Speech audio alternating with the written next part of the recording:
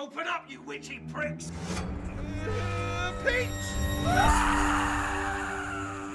Before any man set foot on this soil, there was an evil here. there is a custom that we carry out on every tour. Charlie? You tell a story that you fear, a fable that haunts you.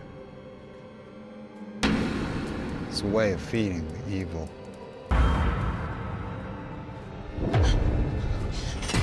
Who's brave enough to talk to the dead?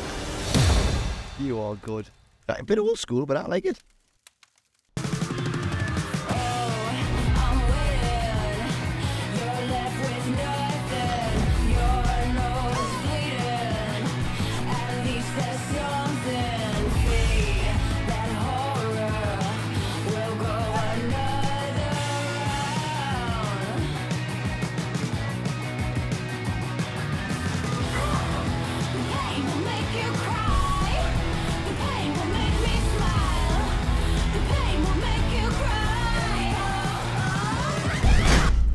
Nothing is coming.